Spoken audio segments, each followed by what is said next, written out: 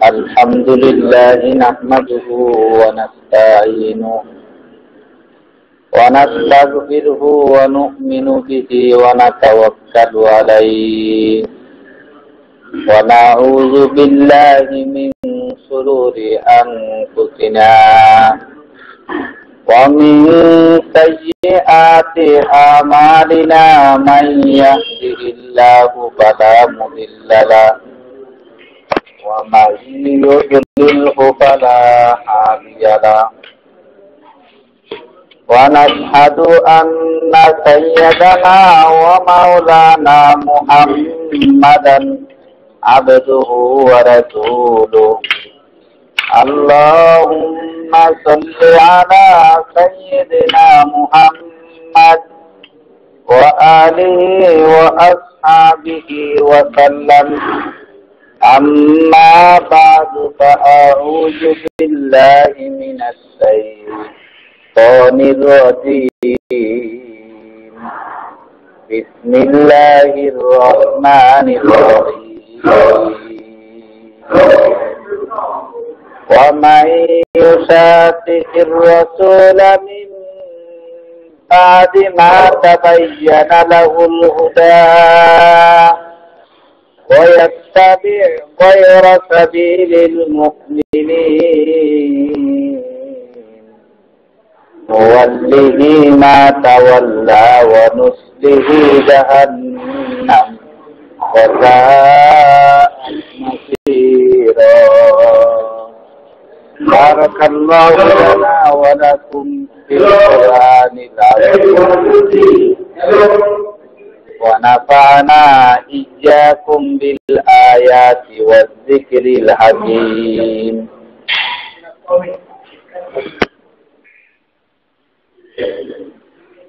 معزز محترم مسلم کرام আল্লাহ রব্বুল আলমিনের রহমতের দিন আল্লাহ দয়ার দিন অনুগ্রহের দিন রোজার মাস তার মাঝখানে আজকে বর্তমানে যেটা আমাদের চট্টগ্রাম আশপাশ এলাকাগুলির মধ্যে সংকেত চলতেছে। তো মূলত এগুলি ইমানদারদের জন্য, তাদের ইমান আরও বৃদ্ধির পথ কাপেরদের জন্য আল্লাহ আজাদের ভয় ইমানদাররা যখন কোনো বালা মুসিবত দেখে, তখন তাদের ইমান বৃদ্ধি পায়। আল্লাহর কথা স্মরণ বেশি করে। কাপেররা যখন কোনো বালা মুসিবত দেখে, তখন তাদের অন্তরের মধ্যে ভয় আসে। তো যাই হোক, এ সমস্ত বালা মুসিবত দুনিয়া দিয়ে আসমানি জমিনি যত বালা মুসিবত, এগুলি মানুষের হাতের অধিক কোনার ফসল। আল্লাহ কোরআন শরীফের মধ্যে চোদ্দশো বছর আগে বলছেন জহরাল ফাসাদুল বাদি ওয়াল বাহারি আইদিন বান্দারে জলে এবং স্থলের যত বিপর্যয় হয় একমাত্র মানুষের হাতের কামাই। মানুষেরা যদি গোনার মধ্যে লিপ্ত হয়ে যায়, তো গোনা থেকে মানুষকে বাঁচানোর জন্য, মানুষকে ভালো পথে আনার জন্য কখনো কখনো আল্লাহ পাক দুনিয়ার দৃষ্টিতে সামান্য বালা মুসিবত এজন্য আমরা গোনা থেকে জানা দরকার এবং অধিক পরিমাণে সওয়াবের কাজ করা দরকার। যে আয়াতটুকু তিলাওয়াত করেছি সুরায় নিসা এর একশত পনেরোতম আয়াত মূলত আয়াতটার এত গভীর, গভীরতা এত বেশি, এক মাস যদি এই আয়াতটা নিয়েও আলোচনা করা হয়, তাও এই আয়াতের ব্যাখ্যা শেষ হবে না। এত গভীর এক আয়াত। আল্লাহ বলছেন, যারা আল্লাহ রসুলের বিরুদ্ধাচরণ করবে এবং সাথে সাথে বলছেন ওয়াত্তাবি গৈর তাবিল মুমিনিন। ওয়াত্তাবি এবং এত্তেবা করবে। অনুসরণ করবে গৈর তাবিল মুমিনিন, মুমিনিনের পথ ছেড়ে দিয়ে অন্য কারু পথ। এবং তারা অনুসরণ করবে মুমিনদের পথ ছেড়ে দিয়ে অন্য কোনো পথ। তো তাদের জন্য আমি আখেরাতে যার নাম রাখছি। দুইটা কথা আল্লাহ পাক এখানে বলছেন। একটা রসুলের বিরুদ্ধাচরণ, দ্বিতীয় নম্বর হইছে মুমিনদের পথ ছেড়ে অন্য পথে চলা। মুমিনদের পথ, এটা কোন জিনিস? মুমিন কারা? পৃথিবীর মধ্যে সর্বশ্রেষ্ঠ মুমিন হচ্ছে রসুলের উম্মতের মধ্যে একমাত্র আবু বকর সিদ্দিক রাজি আল্লাহ যার সাহাবিয়তের বেলায় কোরআন শরীফের আয়াত আছে। অন্য কোন সাহাবিকে যদি সাহাবি অস্বীকার করে, সে কাফের হবে না। কিন্তু আবু বকর সিদ্দিক রাজি আল্লাহ আনহুকে যদি সাহাবিয়তের অস্বীকার করে, সে কাফের হয়ে যাবে। কারণ আল্লাহ বলছেন, ইন্নাল্লাহ মানা। সেখানের মধ্যে রসুলের সাথে সাহাবিকে আবু বকরকে একসাথে করতেন তো সাহাবিয়ত আবু বকরের কোরআন শরীফের তারা প্রমাণ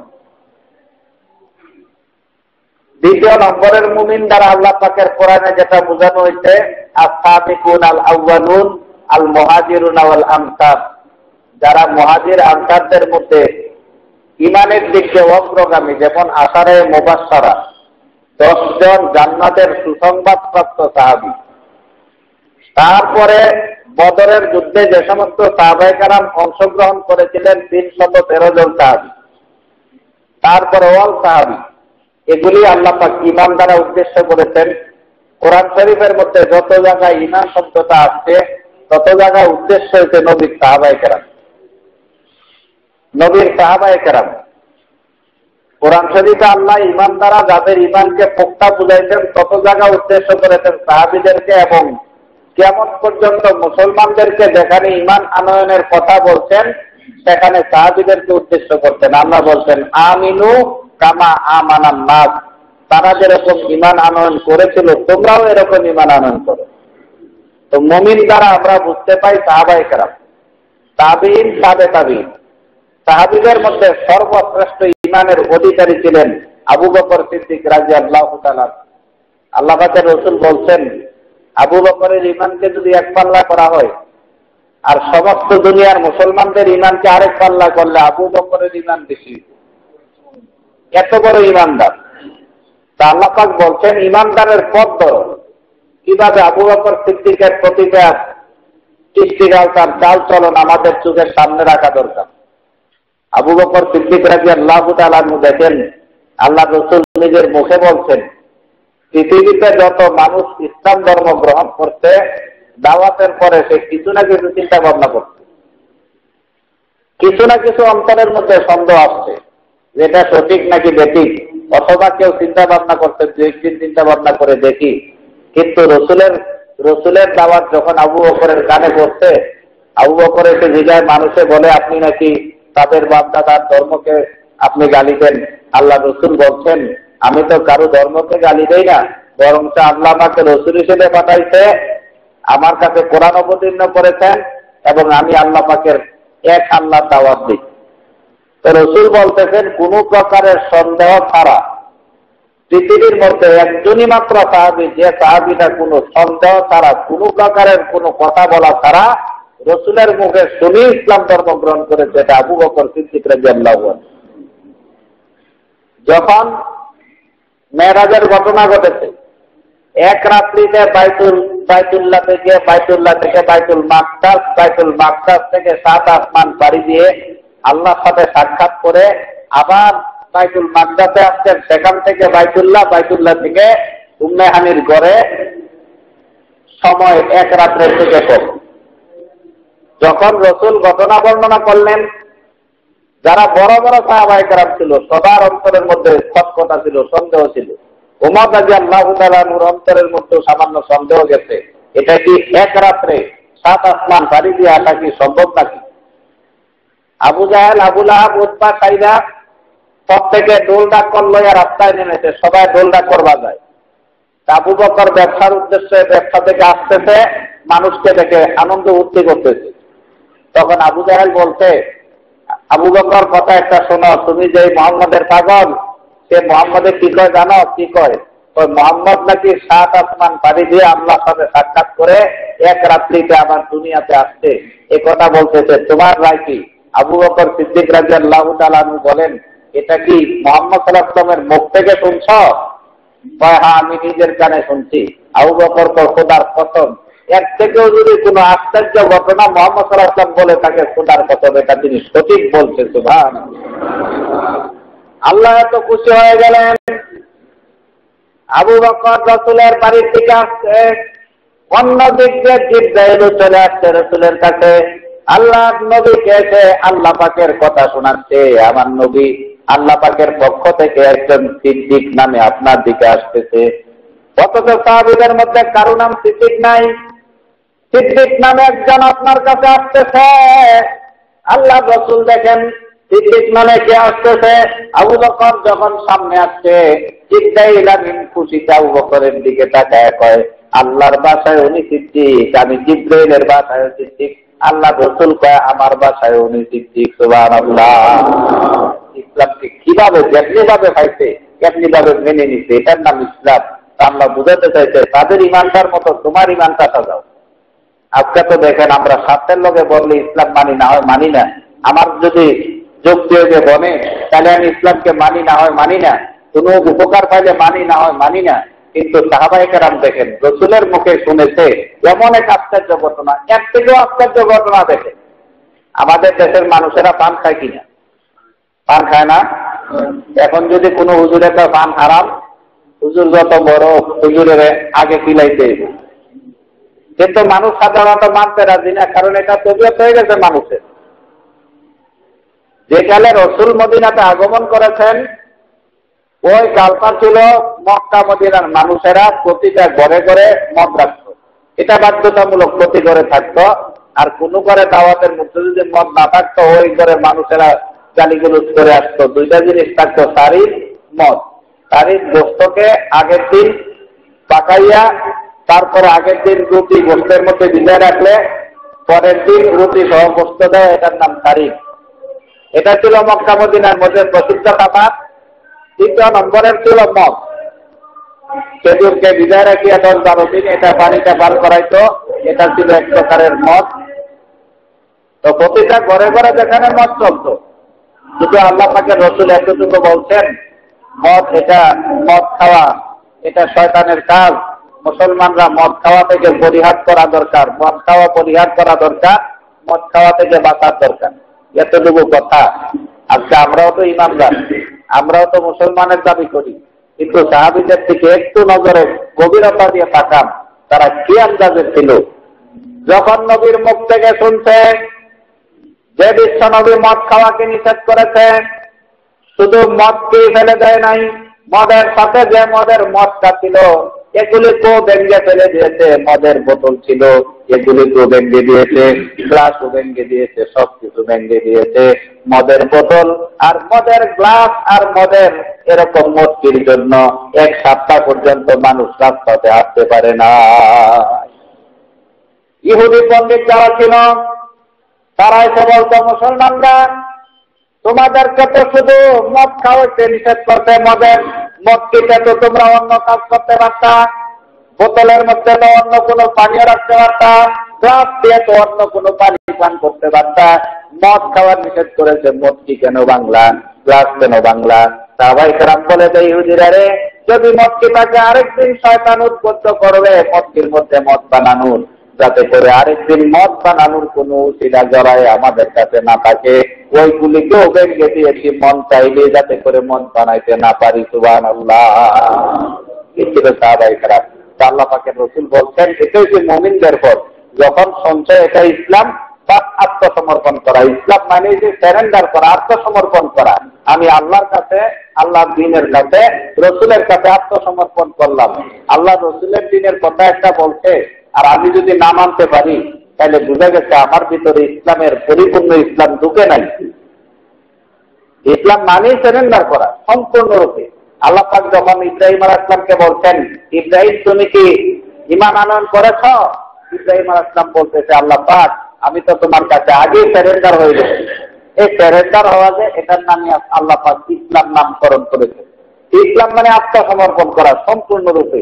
আমার আমার মত আমার মতবাদ, আমার গান আমার চাল চলন, আমার সবকিছু একমাত্র ইসলামের উপরে এরকম কুরবান। ইসলাম যা বলে এটাই আমার বলা, ইসলাম যা করে এটাই আমার করা, ইসলাম যেটা নিষিদ্ধ করেছে এটার থেকে আমার বেঁচে থাকা, ইসলাম যেটা থেকে বাঁচতে বলছে এটা থেকে বেঁচে থাকা, এটাই তো প্রকৃত ইমানদারের আলাপ। আবু বকর সিদ্দিক রাজি আল্লাহ শুনছেন কানে সাথে সাথে মেনে নিলেন যদি মোহাম্মদ বলে থাকে, সঠিক বলছে। আল্লাহ পাক সাথে সাথে আয়াত অবতীর্ণ করে দিলেন আবু বকর সিদ্দিকিয়তের ব্যাপারে। সিদ্দিকে আকবর হয়ে গেলেন। শুধু এতটুকু না, রসুলের জন্য, দিনের জন্য এত ভালোবাসা ছিল। ইসলাম ধর্ম গ্রহণ করে কুরাইশের মধ্যে সব থেকে প্রভাবশালী, সবচেয়ে বড় ব্যবসায়ী ছিলেন। সব থেকে ধনী ছিলেন। কুরাইশদের মধ্যে সব থেকে বেশি ধনী ছিলেন আবু বকর সিদ্দিক রাজি আল্লাহ তালান ইসলাম ধর্ম গ্রহণ করার সাথে সাথে সমস্ত সম্পত্তি আল্লাহ রসুলের দিনের জন্য ব্যয় করে দিল দিনের জন্য ব্যয় করে দিছে। এমনকি রসুলের ভালোবাসা এত বেশি ছিল। এক সময় রসুলকে দেখে কামেরা মারধর করতেছে আবু বকর সেখানে গিয়ে তাদের প্রতিরোধ করলেন। আবু বকরকে তারা এমন ভাবে মারছে, আবু বকর জ্ঞান হারা হয়ে পড়ে গেছে। আবু বকরের গোত্রের নাম তামিম গোত্র। তারা বাইতুল্লাহ ধরে কসম করেছে। যদি আবু বকরের কিছু হয় তাহলে আমরা তার উৎপা থেকে, সাইবা থেকে প্রতিশোধ দিব হত্যার বিনিময় হত্যা করব। তখন তারা পুরোপুরি জানে না, আবু বকর যে ইসলাম আনয়ন করেছে। যখন তারা ঘরে নিয়ে গেছে, আবু বকরের মাথায় পানি ডালতেছে বিকাল যখন হয়েছে, আবু বকর চক্ষু খুলেছে। মানুষেরা জিজ্ঞেস করে, আবু বকর, তোমার কি হয়েছে? তুমি ঠিক আছো তো? আবু বকর চক্ষু খুলি সর্বপ্রথম যে কথা বলতেন আমার রসুল কোন অবস্থায় আছে কোথায় আছে ভালো আছে নাকি খারাপ আছে? আমার রসুলের খবর আগে আহারে শোনাও সুবান তামিম বংশের সমস্ত নেতারা এখান থেকে সরে গেছে। আরে আবু বকর তো মুসলমান হয়ে গেছে।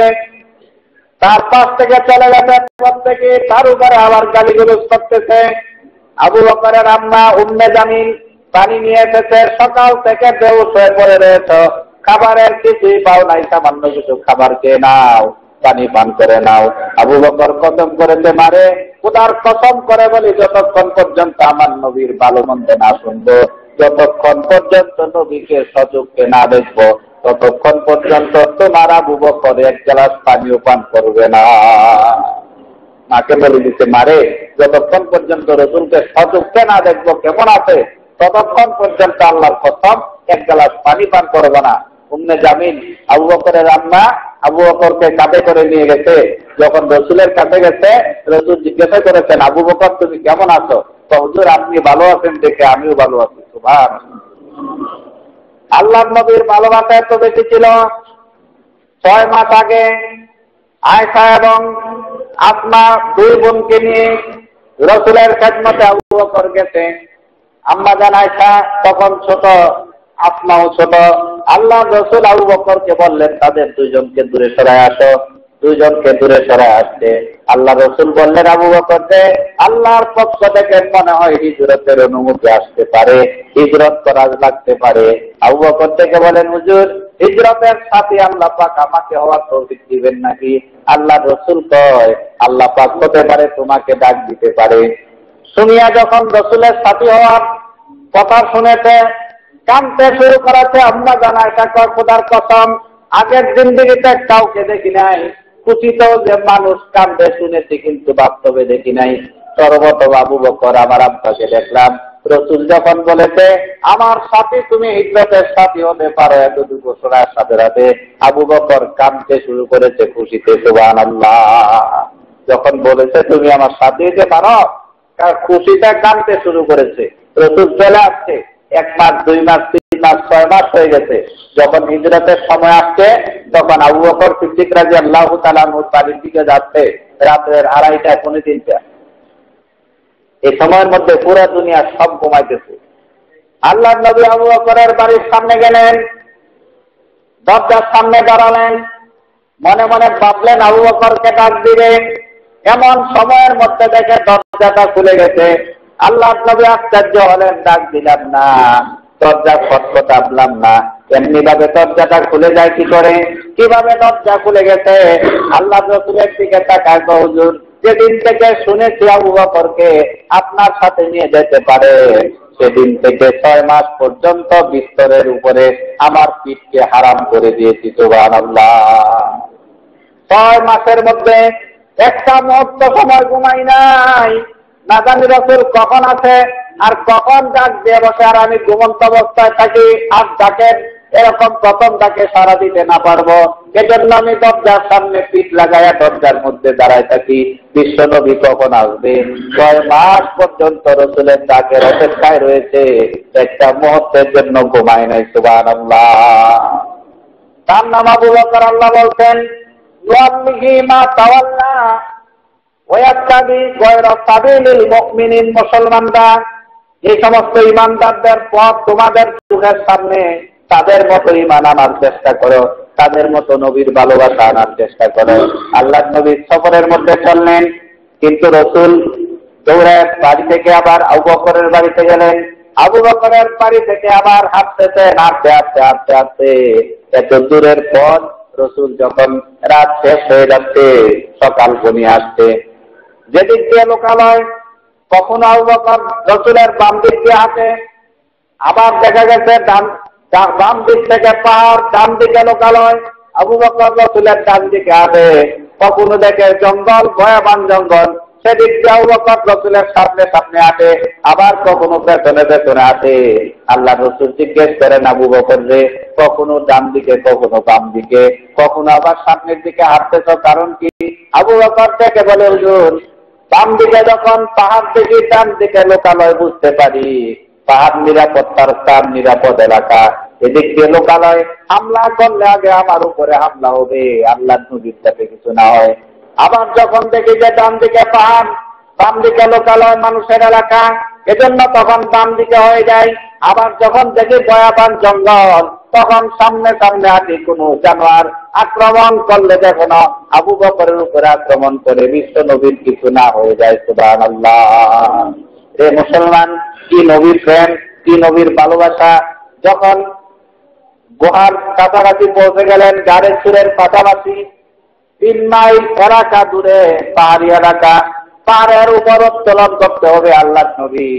তোকে গেলেন এরকম ভাবে পা তোকে গেছে। নবী আর হাঁটতে পারেন না। আবু বকর তো হুজুর, আমার কাঁধে ধরেন, আমি আপনাকে নিয়ে যাই। হাদিসের মধ্যে আসছে, আবু বকর তিন মাইল পাহাড়ি এলাকা পর্যন্ত রসুলকে কাঁধে করে এরকম সুর গুহা পর্যন্ত নিয়ে গেছেন। তো আশ্চর্য কথা, এক একটা পাহাড়ের উপরে একজন মানুষ যদি কোনো এরকম স্থলভূমি হয়, এক জায়গা থেকে আরেক জায়গা উঠতে পারে, কিন্তু পাহাড়ের উপরে ধরার মতো কোনো বস্তু নাই। উঠার মতো খুব মারাত্মক, উঠতে খুব কষ্টকর হয়। কিন্তু দুনিয়া আজকে আশ্চর্য হয়েছে আবু বকর কীভাবে রসুলকে লইয়া কাঁদে লয়ে তিন মাইল এলাকা পর্যন্ত বাড়ি দিয়েছে, পাহাড়ের উপরে পাহাড় কীভাবে বাড়ি দিয়েছে? আপনারা দেখবেন, আমি নিজেও উঠেছি সীতাকুণ্ড এখানে। চোদ্দশো এরকম, চোদ্দশো সিঁড়ি আছে, পাহাড়ের উপরে উঠার, অনেক উপরে পর্যন্ত উঠা যায়।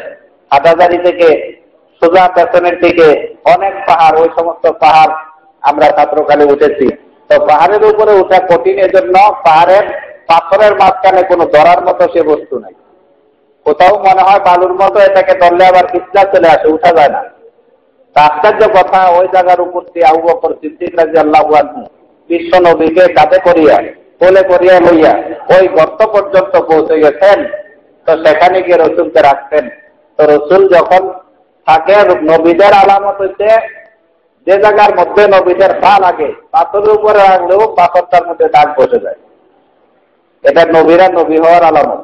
এখনও ওই মক্কা শরীফের মধ্যে যেখানে কাবা ঘর তৈরি করেছেন ইব্রাহিম আলাহ সালাম, যে পাথরের উপরে দাঁড়াইয়া ওই পাথরের মধ্যে এখনও ইব্রাহিম আলাহ ইসলামের পায়ের তাপ রয়ে গেছে। কারণ নবীরা যে পাথরে পা রাখে, পায়ের তাপ রয়ে যায়। তো গিয়ে দেখে নবীর পায়ের তাপগুলি রয়ে গেছে। রসুলকে সামনে রাখিয়া আবার পেছনে আসিয়া তাপগুলি মিটাইয়া যায়। এরকম মিটাইতে মিটাইতে যার স্কুল পর্যন্ত পৌঁছেছেন, তো তিন মাইল এলাকায় এক থেকে আশ্চর্য ঘটনা কাদিরাতুল কোবরা রাজি রসুলের জন্য প্রায় পনে চার মাইল এলাকা। রসুল গাড়ে হেরার মধ্যে ধ্যানমগ্ন থাকতেন এতে কাপে বসতেন। সকালে, বিকালে দুই বেলা খাবার পাকায় রসুলের জন্য নিয়ে যাইত। পনে চার মাইল এলাকা, পাহাড়ি এলাকা। এখনও যে জায়গার মধ্যে এত সংস্কার হইতে, রাস্তা হইতে, সিঁড়ি হইতে, সব কিছুর পরেও আমাদের মতো মানুষ যেখানের মধ্যে যাইতে খুব কষ্ট হয়ে যায়, পনে চার মাইল এলাকা পর্যন্ত খাদিজাতুল কোবরা সকাল একবার খাবার লয়ে রসুলকে দিয়ে আসতো, বিকাল একবার খাবার লয়ে দিয়ে আসতো। কি আশ্চর্য ঘটনা, কত আশ্চর্য ঘটনা। আল্লাহ নবী যারে সুরের গর্তের ভিতরে ঢুকলেন আবু বকর বললেন, হুজুর, আপনি একটু গর্তের মুখে দাঁড়ান। আমি একটু ভিতরটা পরিদর্শন করে আছি নিজের কাপড় দিয়ে গর্তটা পরিষ্কার করলেন। দেখলেন চারদিক দিয়ে গর্তর ভিতরে গর্ত গর্ত দেখা যায়। মনে হয় এগুলি সাপের গর্ত হতে পারে, সর্পের গর্ত হতে পারে। আবু বকর যাইয়া যতগুলি চাদর ছিল, চাদর ছিঁড়ে ছিঁড়ে প্রতিটা গর্তের ভিতরে রাখলেন। দেখে গর্ত সবগুলি পড়ে গেছে, একটা গর্তের মুখ এখনও পড়ে না। আল্লাহ নবী গেলেন, আবু বকর পায়ের একটা পা যে গর্ত ছিল, গর্তটার মধ্যে পা রেখে আল্লাহ রসুলকে বললেন, হুজুর, আপনি ক্লান্ত শরীর নিয়ে আসেন, আপনি ঘুমিয়ে পড়েন। রসুল ঘুমিয়ে পড়েছে, এমনি অবস্থার মধ্যে আবু বকর ওই গর্তের ভিতরে পা রেখে আবু বকর বসে আছেন। এমন সময় একটি সর্প প্রায় সাত শত বছর আগে ঈসা আলাইসালাম এ রাস্তা দিয়ে যাওয়ার সময় বন্ধুদেরকে নিয়ে, হাওয়ারিদেরকে নিয়ে বাসন দিচ্ছে। আমার হাওয়ারিরা এই রাস্তার মধ্যে একদিন শেখ জমানার নবী পয়গম্বর মোহাম্মদুর রসুল্লাহ সাল্লাম হিজরত করবে হিজরত করবে, এই রাস্তা দিয়ে যাবে, এই রাস্তাটা এটা। তো এই রাস্তা যে দেখাইছে, সাতটাও ঈসা আলাহিসামের বাসন শুনেছে। এরপর থেকে সাতটা এখানেই বসে রয়েছে। তো রসুল যখন ঘুম থেকে জাগ্রত হইলেন অথবা মতান্তরে হাদিসে লিখতে আবু বকরের চোখের পানি যাইয়া রসুলের চেহারাতে পড়েছে। তো রসুল চোখ খুলে দেখেন, আবু বকরের শরীর সম্পূর্ণ হলুদ হয়ে গেছে। রসুল উঠলেন, বসে দেখলেন আবু বকর কোনো সারা শব্দ নাই ডাকতেছে আওয়াজ করে না, এমন অবস্থার মধ্যে। আবু বকরের পা যখন সরাইলেন, দেখলেন একটা সাপ সুপল মেরে আছে। বুঝতে পারলেন সাপে কামড় দিয়েছে। আল্লাহ রসুল সাপকে জিজ্ঞেস করলেন সাপরে আমার একটাই মাত্র আমার হিজরতের সঙ্গী, আমার হিজরতের সাথে। তাকে তুমি কেন কাটলা সাপের মুখ থেকে আওয়াজ এসে গেছে, সাপ থেকে বলতে লাগল ইয়ার আল্লাহ সাত শত বৎসরের উপর হয়েছে। যখন ইসাল ইসলাম বাসনে বলেছে শেখ জমানার পয়গম্বর নবী রাস্তা দিয়ে যাইতে পারে। সেদিন থেকে গর্তের মধ্যে যে ঢুকেছি, আজ পর্যন্ত সাতশো বছর এই গর্তের আশপাশে থাকি, কোথাও যাই না। একটা মাত্র উদ্দেশ্য, নবী কখন আসবে, কখন নবীর সাথে সাক্ষাৎ হবে? আজকে মনে মনে ভাবছি, বিশ্ব নবীর মনে হয় আক্রমণের সময় হয়েছে, যখন গর্তটা সুগন্ধি তারা পড়ে গেছে। আমার বুঝতে বাকি রয়ে নাই, ইব্রতের সে নবী মনে হয় এই রাস্তা দিয়ে আগমন করতেছে। কিন্তু বের হতে যাচ্ছি চারদিকে দেখি কাপড়গুলি খুব শক্তভাবে লাগানো, কোনো দিক দিয়ে বের হওয়ার সুযোগ নাই। একটাই মাত্র সুযোগ আছে, আবু বকরের পা যদি সফল না দেয় বের হওয়া সম্ভব হবে না। এই জন্য আমি এরকম ভাবে তাকে কর্তন করেছি, হুজুর আপনাকে দেখার জন্য। আল্লাহ রসুল তার পায়ের মধ্যে নিজের টুক লাগালেন।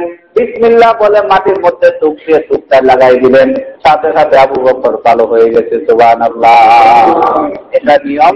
কোথাও যদি কোনো মানুষের চিন্তা কাটে অথবা সাপে কাটে, তখন নিয়ম হচ্ছে সুরে পাতা পরে সামান্য টুক নিয়ে মাটির মধ্যে লাগাইয়া ওই মাটিটা বিচ্ছা কাটা জায়গার মধ্যে লাগাই দেওয়া। এটা রসুলের আদিসের মধ্যে আছে। এমনকি সাহাবাই কারাম এক সাহাবি দলকে যুদ্ধের জন্য পাঠাইতে সাহাবিদের যুদ্ধ হয় নাই, কিন্তু প্রতিমধ্যে আসার সময় সাহাবাই কারাম আসার আগে খানা শেষ হয়ে গেছে। সাহাবাই কারাম খাদ্যের জন্য পাগল হয়ে গেছে, খাবার নাই। দুই দিন, তিন দিন হয়ে গেছে, কিন্তু খাবার নাই, হাঁটতেও পারে না সাহাবাই কারাম। এমন সময় শুনেছে সাহাবাই কারাম ওই বাড়ির সর্দারকে সাপে কামড় দিচ্ছে তো মানুষেরা যখন চারদিকে ঠাকুরে খুঁজে পায় না, তো মানুষেরা মনে করছে, মুসলমানদেরকে দেখতে অন্য সিস্টেমের অন্যরকম দেখা যায়। তোমাদের মধ্যে কেউ সাপের কামড় ভালো করতে পারে, এমন কেউ আছো? এক সাহাবিকে আমি সাপের কামড় ভালো করতে পারি। তা আপনি আমাদের সর্দারকে কাটতে তাকে একটু আপনি জাকুব করে যান।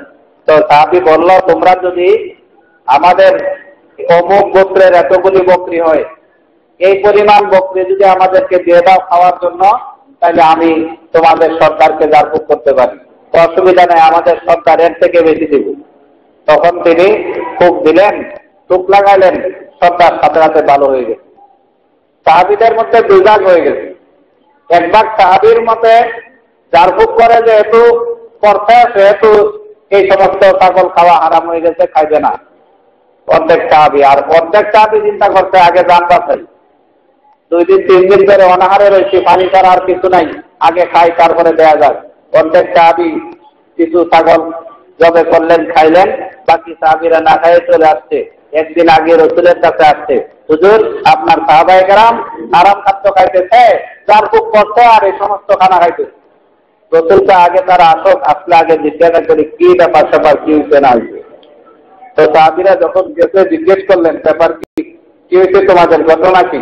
হুজুর, আমি সুরা ফাতহা পরে মাটির মধ্যে চোখ দিয়েছি চোখ দিয়া এই টুকটা তার পায়ের মধ্যে লাগাই দিছি, এতে করে সে ভালো হয়ে গেছে। আল্লাহ নবী জিজ্ঞেস করলেন সুরায় পাপে আর ভিতরে যে সাপের ঔষধ, তোমাকে এটা কে বলল, কে শিখাইল? তাই আর আল্লাহ আপনি হাদিস শরীফের মধ্যে বলছেন ফাতিহাতুল কিতাব হুয়া শেফাউল লিকুল্লিদা সুরে ফাতিহা, এমন একটা সূরা যে সূরাটা সমস্ত রোগের ঔষধ। আমার একিন ছিল বিশ্বনবী, মিথ্যা বলবে না। বিশ্বনবী যেহেতু বলতেন সমস্ত রোগের ঔষধ সুতরাং সাপে কাটার ঔষধ হবে। আল্লাহ নবী কাবিরারে সব কাটি তোমরা খায় বলছো না কিন্তু একটা আমার জন্য রাখতো হুজুর, দুই চারটা আপনার জন্য আনছি। আল্লাহ নবীও সে কাশি থেকে অংশগ্রহণ করলেন সুবাহ আল্লাহ সে কাশি থেকে অংশগ্রহণ করলেন। তো এতে বোঝা গেছে অনেক ক্ষেত্রে একটা মাসালা বলতে হয়, অনেক ক্ষেত্রে অনেক মানুষ বলে থাকে, যার বুক তাবিজ, এগুলি সিঁড়ি। দেখেন, এটা মানুষের সম্পূর্ণ মতের উপরে। এটা যদি ঔষধ হিসেবে ব্যবহার করে, যেমন একজনকে জিনে ধরেছে, তার জিনে ধরা এটা মানুষের জন্য একটা রোগ। এখন যদি কোনো হুজুরে একটা তাবিজ দিলে দিন ভালো হয়, দিন ছেড়ে তাকে পালায়ন করে, তাহলে এটা ঔষধ হিসেবে ব্যবহার করল। ঔষধের জন্য আমরা মাথা খাওয়া যেরকম আমাদের জন্য যায় ঠিক দিন তাড়ানোর জন্য হুজুরের তাবিজ ব্যবহার করা সম্পূর্ণ যায় ঠিক এরকম ভাবে আমাদের দেশের চোখে নজর লাগবে। আল্লাহ রসুল বলছেন, আল আইনু হাক্কুন। নজর লাগা সঠিক। নজর লাগছে মানুষের, এক গাছের মধ্যে রাখছে গাছটা মরে গেছে। একটা গাভীর মধ্যে রাখছে গাভী আর দুধ দেয় না। এমন অহরহর ঘটনা ঘটে। কিন্তু দেখা গেছে হুজুর একটা এরকম পানি ভরা দিতে বা কিছু দিতে এতে তারা উপকার হয়েছে এতটুকু সম্পূর্ণরূপে বৈধ, এটাকে হারাম বলার মতো কোনো কারও ক্ষমতা নাই, সেটা ঔষধ হিসেবে।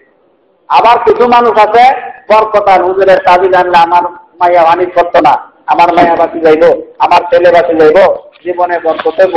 এ সমস্ত নিয়ত নিয়ে যদি কোনো ব্যক্তি তাবিজ ব্যবহার করে, এটা সিরিক বল্লাস এটা মানুষের ব্যবহারের উপরে নির্ভর।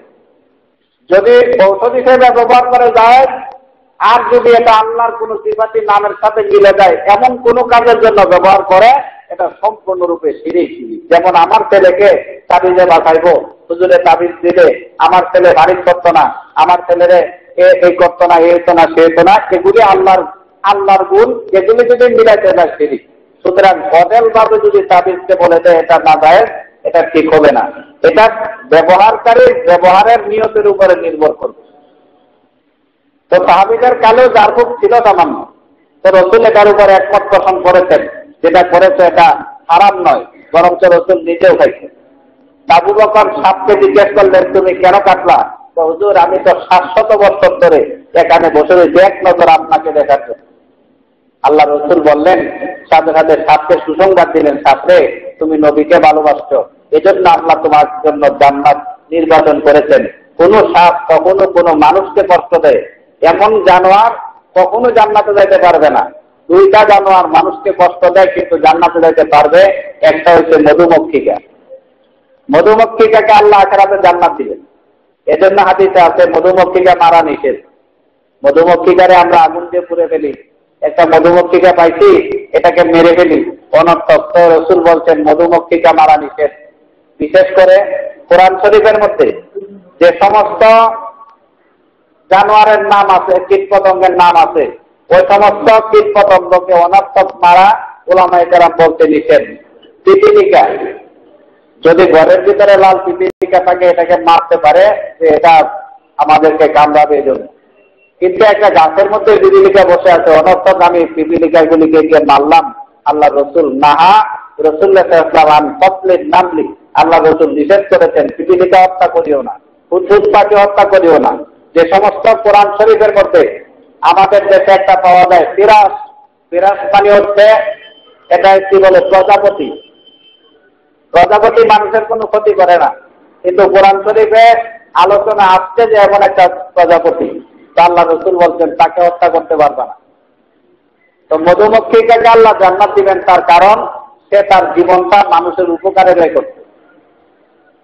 শুধুমাত্র আধা কেজি মধু সংগ্রহের জন্য বিশ হাজার মধুমক্ষিকা পঞ্চাশ হাজার বার ফুলের মধ্যে যাইতে হয়। পঞ্চাশ হাজার বার বিশ হাজার মধুমক্ষিকা ফুলের মধ্যে যাইয়া মাত্র আধা কেজি মধু সংগ্রহ করতে পারে। এ সারাটা জীবন শুধু মানুষের উপকারে মধু সংগ্রহের জন্য কাটাইছে, এজন্য আল্লাহ পাক জান্নাত দিবেন। আর এই সাতটাকে আল্লাহ জান্নাত দিবেন এজন্য এই সাতটা আমার নবীকে ভালোবাসে। ঠিক একটা মাছ রসুলের মাথায় হাদিসের মধ্যে আসছে, আল্লাহ জান্নাত দিবেন। একবার সাহাবাহিকারা নদী পথে নৌকা দিয়ে যাচ্ছে, এক সাহাবি, বুজুর্গ সাহাবি বসে বসে রসুলের দূরত পড়তেছে। এমনিতে দূরত পড়তেছে, একটা মাছ নৌকা বরাবর করে অনেকক্ষণ অনেকক্ষণ পর্যন্ত যতক্ষণ দূরত পড়ছে, ততক্ষণ পর্যন্ত মাছটা নৌকা বরাবর দৌড়ে যখন দূরত করা বন্ধ করে দিতে মাছটা নিচে চলে গেছে। কিছুদিন পরে এক সাহাবি বসে দিয়ে মাছ ধরতে গিয়ে একটা মাছ উঠছে। মাছটারে আগুনের মধ্যে দিলে আগুন বন্ধ হয়ে যায়, নিভে যায়। আবার মাছটা যখন আগুন থেকে দূরে আমি আগুন দেয়, আগুন চলে এমন করে আট দশ বার করছে, করার পরে আশ্চর্য হয়েছে স্বামী, স্ত্রী, দুজন রসুলের কাছে আসছে, হুজুর, একটা মাছকে বারবার আগুনের সামনে নিলে আগুনটা নিভে যায়। আবার যখন দূরে আনি, আগুন জ্বলে। কিন্তু ব্যাপারকে বুঝতে পারিনি আল্লাহ নবী চলে আসলেন মাছ দেখার জন্য। যখন সামনে আসলেন, মাছকে দেখলেন, রসুল বুঝতে আর বাকি রয় নাই। আল্লাহ নবী রেখে বললেন, এরে মুসলমান, যে মাছটাকে দুনিয়ার আগুন দূরের কথা জাহান নামের আগুনও জ্বালাতে পারবে না। মাছটা নবীকে এত বেশি ভালোবেসেছে? নবীকে অন্তর দিয়ে ভালোবেসেছে নবীর সুরুত শুনেছে। এই জন্য মাছটাকে আখেরাতে আল্লাহ জান্নাতি বানাই দিয়েছে। এরকম ভাবে জানোয়ার কীট পতঙ্গ জড় পদার্থ উস্তনে হান্না, হান্নানা মানে হচ্ছে খেজুর গাছের বাঁকা তালা তো রসুল জুমার দিনে জুমার যখন মদিনাতে গেছেন, খেজুর গাছ দিয়ে ঘর বানাইতেন, মসজিদ বানাইতেন, তো খেজুর গাছের একটা থালার মধ্যে ধরে রসুল জুমার খুদ্া করতো তো একজন সাহাবি ছিল কাঠুরে সাহাবি কাঠ কাটতো বাজার, বাজারে বিক্রি করতো। তো বাজারে জঙ্গলে কাঠ কাটতে গিয়ে দেখে একটা কাঠ এত সুন্দর, মনে হয় যে এটা রসুলের জন্য যদি লাঠি বানাই নেই, খুব বানাইব রসুলের জন্য লাঠি বানায় আনতে কহুজুর এটা ধরে জুমার কুত্ব করেন আর খেজুর গাছের বাঁকা থালা এটা ছেড়ে দেন। খেজুর গাছের থালা দেখতে সুন্দর না, নিচে দিক দিয়ে মোটা ওটার দিক দিয়ে চিতন তো রসুল এখানে পেছনে ফেলে দিচ্ছে তো রসুল জুমান নামাজ করতেন খুদ্া করলেন নামাজ পড়লেন, সালাম ফিরাইয়া হুজরা মুবারকে চলে গেলেন। সাহাবাই কেরাম সুন্নত করতেছে নকল করতেছে এমন সময়ের মধ্যে মসজিদের ভিতর থেকে বুক ফাটা কান্নার আওয়াজ আসছে। কে যেন তারা পঞ্জনকে হারাইয়া যারো কাতর কানতেছে। সাহাবাই কেরাম তাড়াতাড়ি করে নামাজের সালাম ফিরাই নেন। সালাম ফিরে দৌড়ে আসলেন, কে কাছে কান থেকে কোথায় যে কান্নার আওয়াজ আসে। একজনের কান পেটে থেকে খেজুর গাছে শুকনা তালা যে তার ভিতর থেকে কান্নার আওয়াজ আসতেছে। সাহাবাই কেরাম দৌড়াতে শুরু করলেন। কয়েকটা ভিতর ছিলেন রসুলের ইকরা মুবারকের দিকে, ইয়া রসুল আল্লাহ ইয়া হাবিব আল্লাহ আজকে একটা ঘটনা ঘটেছে, কি বলো না? হুজুর, খেজুর গাছের একটা শুকনা টালা তার ভিতর থেকে কান্না আসছে। আল্লাহ নবী বের হলেন। খেজুর গাছের থালাটাকে হাতে নিলেন। কি বুঝাইলেন কান্না বন্ধ করে দিয়েছে। কবির ভাষায়, উস্তুনে হান্না না আজে রসুল নালামি যত হাম চুয়ার বাদে ওকুল উস্তুনে হান আজে রে রসুল নালামি যত হাম চুয়ার বাদে ওকুল সাহাবাই কারা বললেন, হুজুর, খেজুর গাছের শুকনা তারা কাটতে বা কেন আবার হঠাৎ করে কান্না বন্ধ হয়ে গেল, কারণ কি? আল্লাহ রসুল বলেন সাহাবিরা রে খেজুর গাছের তালাটাকে পেছনে ফেলে দিয়েছি? মনে মনে ভেবেছে, আরে, আর বুঝি রহমাতুল্লির আলমিনের হাত, আমার শরীরে স্পর্শ করবে না। এজন্য সে কানতেছে আমি তালাকে বললাম তালা রে তুই আমারে ভালোবাসো, আমিও তোকে ভালোবাসি। সামান্য একটু অপেক্ষা কর চর্চা দর আমাদের ময়দানে আমি করে লইয়া জান্নাতে গমন করব। আল্লাহ রসুল সাহাবিদেরকে বললেন সাহাবিরা রে এরকম মানুষকে যেরকম কাফন দাফন করা হয়, এরকম কাফন দাফন করে জান্নাতি পাখির মধ্যে তার খবর দাও। কিয়ামতের ময়দানে নবীকে ভালোবাসার কারণে খেজুর গাছের শুকনা থালাটাকে আল্লাহ জান্নাত দান করে দিবে আবু বকর সিদ্দিক রসুলকে এত বেশি মহাব্বত করত। তিন মাইল এলাকা পর্যন্ত, পাহাড়ের উপর যে এলাকা রসুলকে কাঁধে করে নিয়ে গেছে। দুনিয়া একটা যে শুনে সে আশ্চর্য হয় যে একটা একটা যদি স্থির এলাকা হইতো, একটা স্থলের বসতি বুঝতাম যে এটা সম্ভব। কিন্তু পাহাড়ের উপরে কীভাবে মাইল এলাকা একজন আরেকজনকে কাঁধে করে নিয়ে যেতে পারে আবু বকর সিদ্দিক রসুলকে এত বেশি ভালোবাসত। এত বেশি ভালোবাসত। সারাটা জিন্দিগি রসুলের জন্য কাটাইতে।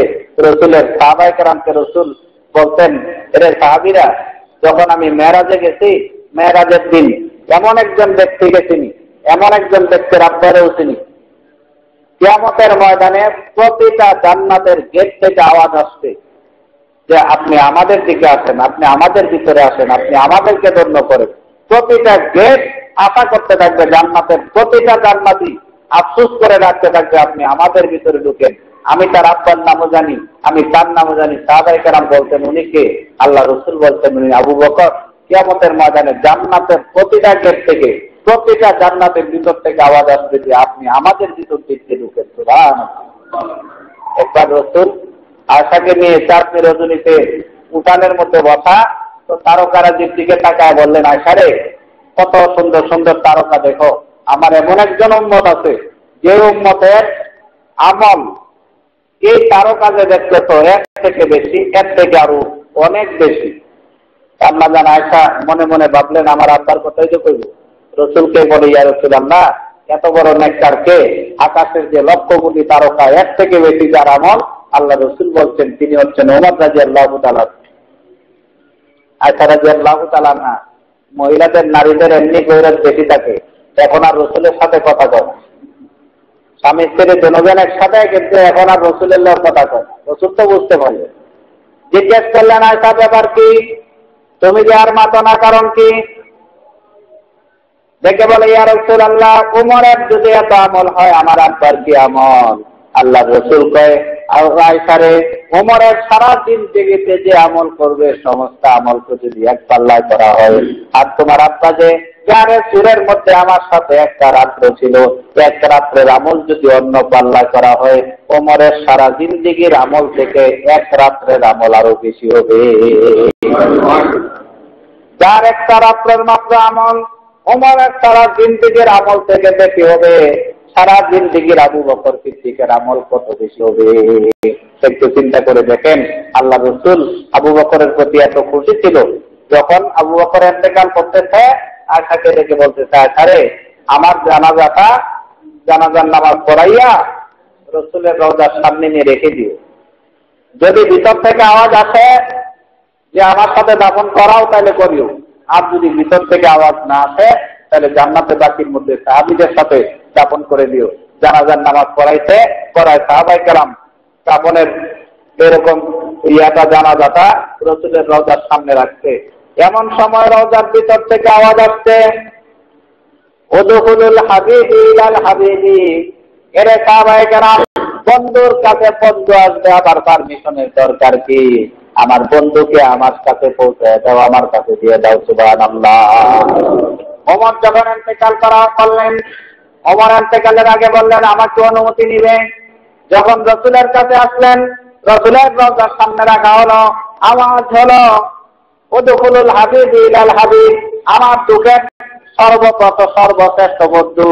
যিনি ইসলামকে পৃথিবীর মধ্যে সর্বপ্রথম গালিব করেছেন তিনি আজানকে উচ্চ করে দিয়েছেন তিনি মসজিদকে মসজিদের মধ্যে এবাদতকে কুল্লুম খোলা করেছেন। আমার এমন একজন বন্ধু, বন্ধুর কাছে বন্ধু আসবে, আর পরামর্শের দরকার কি, পারমিশনের দরকার কি? আলী এন্তেকাল করেছে, যখন সামনে রাখা হয়েছে, আর আওয়াজ হয় না। উসমান গনি এন্তেকাল করেছে, সামনে রেখেছে, আওয়াজ হয় না। সবাই কারাম বুঝতে বাকি রয় নাই। তৃতীয় নম্বরের যে একটা কবরের জায়গা রয়েছে, এটা একমাত্র ইসার ইসলামের জন্য রেখে দেওয়া হয়েছে। ইসার ইসলাম শেষ জমানা আসবেন এতেকাল করলে ওই জায়গাটার মধ্যে দাপন করা হচ্ছে আল্লাহ এই জন্য আবু বকর সিদ্দিক যাকে আল্লাহ এমন বড় নেককার ছিলেন, নবীর জন্য এত পাগল ছিলেন, দিনের জন্য এত পাগল ছিল। ওমর রাজি আল্লাহ সারা জীবন দুইজন থাকলে ছাত্র একজনে পাস হয়, একজনে এক নম্বর হয়, একজন দুই নম্বর হয় দোনোটার মাঝখানে কিন্তু সারাদিন এরকম যুদ্ধ লাগিয়ে থাকে দোনোজন কে কারে ফেল করতে পারে, এই তালে লিপ্ত থাকে। আমরাও যখন লেখাপড়া করছি, তো দেখা গেছে আমি এবং আরেকজন যেটা ছিল, এক, দুই। এতটুকু ব্যবধান ছিল, এক নাম্বারের ব্যবধান ছিল। এক নম্বর ব্যবধানে আমি কইতাম, উনি দুই হইতো অথবা উনি দুই হইতো, আর উনি এক হইতো, আমি দুই হইতাম, এক নাম্বারের ব্যবধান তো সারাদিন দুজনে এতে কি করে, এতে কোন জায়গায় করে, তো আমি ওইগুলি খেয়াল করতাম। আমি কোন জায়গায় যাই, এতেও খেয়াল করতাম। তো ওমর আর আবু বকর সব সবসময় আমল নিয়ে প্রতিযোগিতা লাগতো।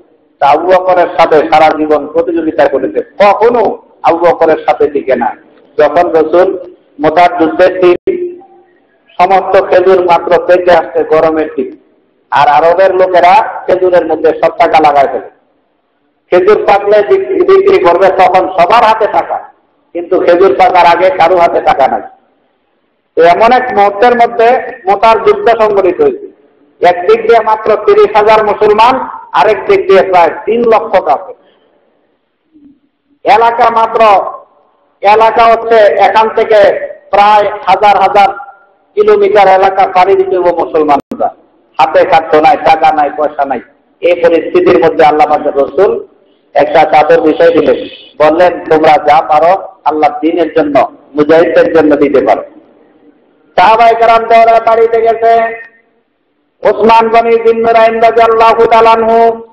ঘরে ঢুকে নিজের সম্পত্তিকে চার ভাগ করলেন। চার ভাগের নিয়ে এমন হয়ে গেল। রসুলের চাদর পড়ে গেছে, শুধু ওসমান গনির টাকা দ্বারা। বাড়িতে গেলেন। সম্পত্তি, পুরা সম্পত্তিকে তিন ভাগ করে এক ভাগ নিয়ে আসলেন। টাকার এত বড় এরকম তৈরি করে নিয়ে আসলেন। ওমর বাড়ি থেকে তো ওমরের সম্পত্তি যত আছে, অর্ধেক করে অর্ধেক সম্পত্তি নিয়ে আসে। এত বড় একটা টাকা টাকার তলি নিয়ে চলে আসছে সবাই খুশি? এখন আবু বকরের ফলা আবু বকর বাড়িতে গেছে। আবু বকর যা তিনি মক্কে জিন্দিগি তিনি নিজের সম্পত্তি আল্লাহর রাস্তায় তৈরি করে দিয়েছেন, যার এক পয়সা নাই, ঘরের ভিতরে গিয়ে কান্নাকাটি শুরু করেছে। স্ত্রী দেখে বলল, আবু বকর কেন কান্দ? বিশ্ব নবী আজকা চাদর বিদায় দিয়েছে, সবাই দিতেছে, আমি কি দিব? আমার তো এক পয়সা নাই। আবু বকরের স্ত্রী সমস্ত পাতিলা যেগুলি ছিল ঘরের মধ্যে, তারপরে পাতিলা প্লেট যেগুলি ছিল, সবগুলিকে একটা বস্তার মধ্যে ঢুকাইয়া আবু বকরকে কয়ে এগুলি লয়ে যা এগুলি রসুলের কাছে দেন। আবু বকর যখন চলে আসতেছে, এমন মুহূর্তের মধ্যে আবু বকরের স্ত্রী চারটা তোর কামতেছে আবু বকর জিজ্ঞেস করলেন, আপনি কেন কান্দেন দেখে বলল, আপনি কিছু নিয়ে যাচ্ছেন, সবাই কিছু না কিছু নেই আমার কাছে দেওয়ার মতো তো কিছু নাই। আজকে বিশ্ব নদীকে কালিয়াতে কীভাবে ফিরাই দেয়? আবু বকর তারাই রয়েছে। আবু বকরের স্ত্রী একটা চাটাই ছিল। খেজুরের চাটাই খেজুর পাতার চাটাই এটা দিয়ে শরীর ডাকনা দিয়ে নিজের কাপড়টাকে পাস করে আবু বকরের ব্যাগের মধ্যে দিয়ে দিয়েছে। এটা রসুলের জন্য আজিয়া লইয়া যান। আবু বকর যখন কাছে যাচ্ছে, সবাই দেখে পাতিলা প্লেট এ সমস্ত জিনিস টাকা নাই। আমার মনে মনে যাচ্ছে সারা জিন্দিগিতে আবু বকরের উপরে আমি গালে হতে পারি নাই। আজকাল সাহবের দিকটা আবু বকর থেকে বেশি নিব, কারণ আবু বকর থেকে অনেক গুণে বেশি টাকা আমার। মুনাফিকরা মুসকে মুসকে আসতেছে, আবু বকরের দিকে তাকাইয়া যে ছেলের পাটিটা পর্যন্ত নিয়ে আসছে। রসুল যতজন সাহাবি আসছে, ওসমান গনি আসলে জিজ্ঞাসা করলেন, বাড়িতে কি রাখি আসছ? কয়েকজন সম্পত্তির এক চতুর্থাংশ এনেছি, আর বাকি তিন তৃতীয়াংশ তিন চতুর্থাংশ রেখে আসছি ওসমান গনি আলী আসলেন, জিজ্ঞাস করলেন, কি রেখে আসছ কয়েকজন তিন ভাগ করে এক ভাগ আসছি দুই ভাগ রেখে আসছি ওমর আল্লাহ তারানু আসলেন, জিজ্ঞেস করলেন, বাড়িতে কি রেখে আসছ সম্পত্তির অর্ধেক নিয়ে আসছি অর্ধেক বাড়িতে রাখছি। আবু বকর যখন আসছে, আল্লাহ নবী জিজ্ঞেস করলেন আবু বকর যে বাড়িতে কি রেখে এসেছ? কইয়া রসুল আল্লাহ আল্লাহ আর আল্লাহ রসুলকে বাড়িতে রেখে আসছি। হজুর, বাড়িতে তো কিছুই রাখতে পারি নাই, আল্লাহ আল্লাহ রসুলকে রাখে আসছি।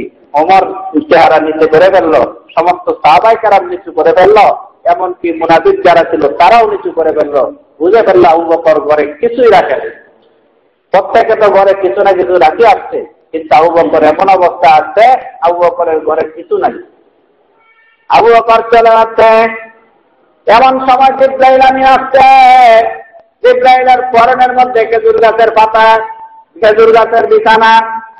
রসুল আশ্চর্য এলেন জিব্রাইল তুমি তো ফেরেস্তা তোমার তো ফেরেস্তা এই কাপড় আছে, তোমার তো কোনো কিছুর অভাব নাই। আল্লাহর পক্ষ থেকে পাও খেজুর গাছের পাতা পরে। খেজুর গাছের পাতায় পরে আসতো। কারণ কি? হুজুর আপনি তো খবর দিলেন না। আবু বকর ঘরের মধ্যে কি পরিস্থিতি করে আসছে। আবু বকরের স্ত্রী নিজের কাপড়টা পর্যন্ত আপনার জন্য দিনের জন্য দিয়ে দিয়েছে। খেজুর গাছের পাতা পরে আছে। এজন্য আল্লাহ পাক সমস্ত ফেরেস্তাদেরকে হুকুম করেছে আজকের দিন যেন আবু বকরের স্ত্রীর সুন্নাত পালন করে। সবাই যেন খেজুর গাছের পাতা পরে থাকে, সুবহানাল্লাহ। দিনের জন্য কি উৎসর্গ করেছে, নিজেকে কীভাবে উৎসর্গ করছে? আল্লাহ বলছেন, ও মুসলমান ইয়াক্তাবি গৈর সাবিলিল মুমিনিন, মুমিনদের পথ অনুসরণ করো। মুমিনদেরকে সামনে বানাও এই মুমিনদের পথ ছেড়ে দিয়ে অন্য পথে চলিও না, যার এক পয়সা ছিল না। আজকে আমরা হারাম খাই, হারাম কাজ করি, মনে মনে ভাবি আমাদের তো টাকা পয়সার অভাব। অভাব এই জন্য অনেক সময় খারাপ কাজ করি। কিন্তু দেখেন আবু বকর সিদ্দিক দুই দিন পরে ক্ষুধার্ত। তো গোলামে এক সময় কিছু নিয়ে আসছে। তো নিয়ে আসছে তো এত ক্ষুধার্ত, জিজ্ঞাসা করেন না কি নিয়ে আসছে। আবু বকর দৌড়ে বিশ্বের সামনে খেয়ে ফেলছে। তো গোলাম জিজ্ঞেস করে, হুজুর, আজ পর্যন্ত আপনারে যা দেয় আগে জিজ্ঞেস করেন, কোথায় থেকে আনছি? আজকে যে জিজ্ঞেস করলেন না, তো এত বেশি ক্ষুধা জিজ্ঞেস করার সময় হয় নাই। তো আবু জিজ্ঞেস গুলি কোথায় থেকে আনছো? হুজুর, আমি কাদের থাকাকালীন সময় আমি ওই বাড়ির মানুষের কিছু জারগুন করছি। তো তারা তখন আমাকে কিছু দেয় নাই। আজকে আসি সময় চিনছে, এজন্য আমারে কিছু দিতে। আবু বকর সিদ্দিক যখন শুনছে কাপের থাকাকালীন জারকুম করে, তার বিনিময়ে এগুলি আনতে নিজের গলার মধ্যে মুখ দিয়ে বমি করার চেষ্টা করতেন। খালি পেটের মধ্যে খাবার খাইতে বমিও করতে পারে না। জন্নার সামনে যাইয়া পেটের ভিতরে পানি ঢুকাইতেন। আবার বমি করতেন, আবার পানি ঢুকাইতেন, আবার বমি করতেন। তৃতীয়বারের মাথায় বেউস হয়ে পড়ে গেছে। সাহাবাই কারা মাসিয়া পানি ডালতেন বসে আসতে। জিজ্ঞেস করলেন, আপনি তো এরকম ক্ষুদার পেটে খাইছেন যান বাঁচানোর জন্য খাইছেন তাও বকর বলতেন, আল্লাহ পাকের রসুলকে বলতে শুনছি, যে অংশটুকু হারাম জিনিস দ্বারা যে অংশটুকু হয় মানুষের শরীরে, ওই অংশটুকুকে আল্লাহ জাহান নাম দিবেন, আমি চাই না আমার শরীরের মধ্যে কোনো হারাম বিষয়, হারাম জিনিস ঢুকুক। তো দেখেন নিজেকে এমন ভাবে পরিচালনা করেছে আল্লাহ বলছেন, মমিনদের পথ করো মমিনদের পথ ছেড়ে দিয়ে অন্য পথে চলিও না। মমিনদের পথ ধরো। আবু বকর সিদ্দিক, ওমর রাজি আল্লাহ তালানু উসমান রাজি আল্লাহ তালানু আলী রাজি আল্লাহ তালানু এ সমস্ত মমিনদের তারপরে তার চরিত্র আমাদের সামনে রাখা দরকার তাহলে আমাদের জীবনটা চালাইতে খুব সহজ হবে আমরা আরাম থেকে বাঁচতে পারবো আল্লাহ যতটুকু কথা বলছি আমাদেরকে এই সবগুলি কথার উপরে আমল করার তৌফিক দান করে যেটা আমি আল্লাহ সালাম ومنك السلام تبارك يا ذا الجلال والإكرام ربنا آتنا في الدنيا حسنة وفي الآخرة حسنة وقنا عذاب النار اللهم اغفر لنا ولوالدينا ولأستاذنا ولشيخنا ولمشايخنا ولمن له حق علينا ولجميع المؤمنين والمؤمنات والمسلمين والمسلمات الأحياء منهم والأموات إنك مجيب الدعوات يا رب العالمين আল্লাহ পাক জিন্দিগির সমস্ত গুণাগুলিকে চাকুরি দাম দিয়া তোমার কুদ্রতে পায়ের নিচে আল্লাহ কাটুরি করে, গুনার কাটুরি লইয়া উপস্থিত হয়েছে। মেহরবানি করে আমাদের জিন্দিগির কথা গুলি মাফ করিয়া দাও। আমাদের দুনিয়াতে গুনার জন্য আল্লাহ দুনিয়াতে আমাদেরকে দর পাকড়াও করিও না। আল্লাহ তোমার আজাব বরদাস্ত করার ক্ষমতা আমাদের নাই। আল্লাহ বাংলাদেশকে সমস্ত প্রকারের আপদ বালা, মুসিবত থেকে আবাদত কর। আসমানি বালা, জমিনি বালা, আর স্থল পথে জল পথে উভয় পথের বালা, মুসিবত থেকে বাংলাদেশকে তুমি আবাদত কর। ইয়ার আপনারা আমি সমুদ্রের মধ্যে সংকেত চলতেছে। আল্লাহ সমুদ্রের ভূমিকম্পকে তুমি সমুদ্রের ভিতরে জমায় দাও।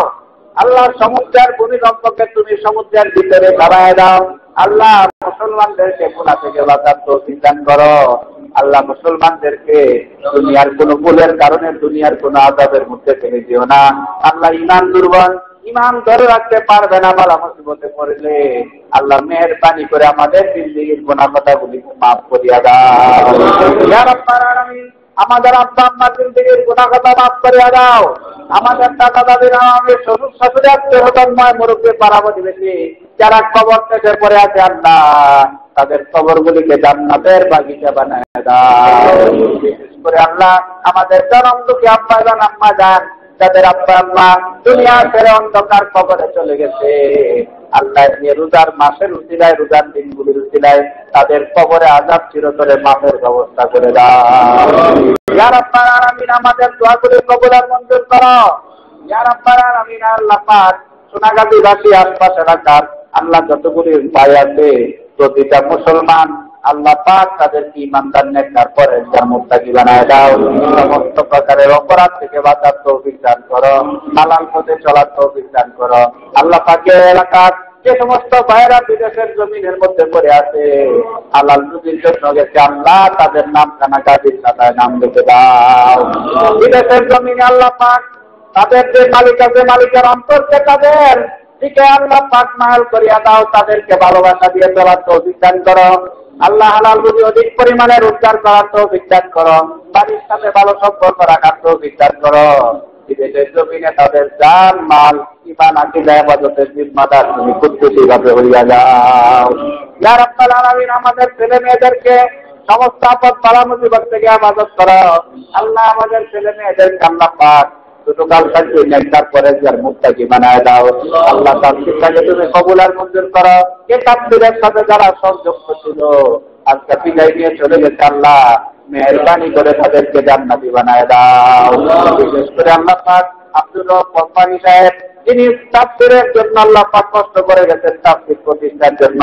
আল্লাহ পাক অনেক সময় লাগাইছেন তার কবরটাকে আল্লাহ تبدل تیرا جنت باقی کا بنائے گا وصلی اللہ علیہ خیر خلقی محمد وآلہ اجمعین یہ کیا کلمہ طیبہ لا الہ الا اللہ محمد رسول اللہ